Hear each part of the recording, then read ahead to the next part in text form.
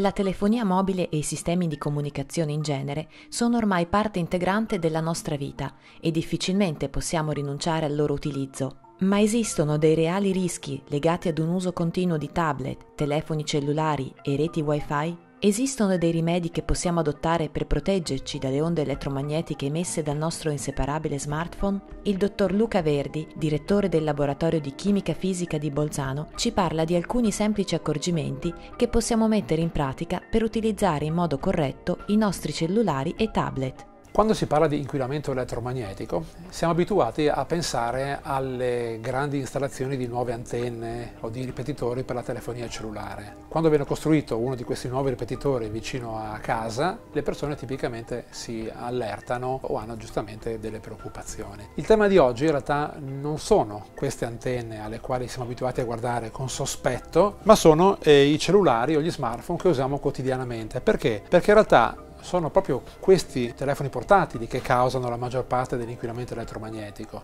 Ossia, se misuriamo il contributo all'inquinamento elettromagnetico legato alle antenne che stanno fuori dalle nostre abitazioni, troveremo dei valori sempre piuttosto bassi. Se proviamo invece a misurare cosa succede in prossimità di un apparecchio del genere quando lo utilizziamo, i campi aumentano in maniera misurabile e sensibile. L'obiettivo di oggi è di cercare di mettere a fuoco alcuni semplici consigli che possono essere attuati da chiunque in maniera tale da ridurre, da minimizzare la propria esposizione rispetto agli smartphone senza per questo dover rinunciare a nessun tipo di servizio tecnologico che invece vogliamo, di cui vogliamo godere al giorno d'oggi. La prima regoletta molto semplice e banale è di usare sempre l'auricolare oppure a viva voce, evitando quindi di avere lo smartphone o il telefonino attaccato alla testa.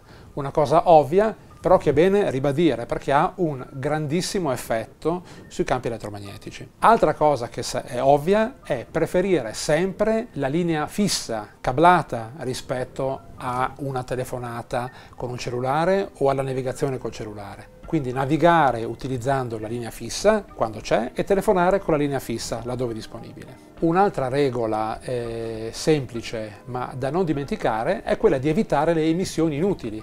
Cosa vuol dire? Di notte, quando nessuno utilizza il cellulare, nessuno utilizza il wifi di casa, o si spegne tutto e si mette il cellulare in modalità aereo, oppure quantomeno il cellulare, se non lo puoi spegnere, lo si mette in un'altra camera. Un'altra regola importante è Consideriamo che le persone al giorno d'oggi non vogliono rinunciare all'utilizzo dello smartphone in casa propria. Quantomeno però usiamolo in maniera corretta, cioè se posso scegliere fra collegarmi alla rete tramite una rete wifi oppure tramite la rete cellulare, devo assolutamente prediligere la rete wifi. Le reti wifi sono dimensionate con pochissima potenza, 0,1 watt, proprio per coprire il piccolo ambito del proprio appartamento. Viceversa le antenne cellulari che stanno alla all'aperto sono pensate per un altro scopo, non a caso hanno 100-200 watt di potenza, quindi sono smisurate per coprire in casa propria. In questo modo, oltre che avere un beneficio per l'utente, abbiamo anche un beneficio per l'ambiente, perché le stazioni radio base all'aperto vengono utilizzate di meno e quindi il carico elettromagnetico per l'ambiente cala. L'ultima regola si riferisce all'utilizzo dello smartphone o del cellulare in macchina. Ebbene, va evitato. L'automobile rappresenta una gabbia di Faraday e quindi scherma rispetto ai campi esterni. Significa che il cellulare stesso, per funzionare, deve sparare alla massima potenza disponibile e quindi espone il soggetto a un campo elettromagnetico inutile. Quindi va evitato proprio per ridurre la propria esposizione ai campi elettromagnetici. In questo senso ci sono altri aspetti legati alla sicurezza stradale che forse sono addirittura più importanti del, dei campi elettromagnetici. Ed ora un importante intervento relativo all'aspetto tecnico dell'uso del cellulare in materia di sicurezza stradale del sovrintendente capo della Polizia Stradale di Bolzano, Gabriele Evaldi.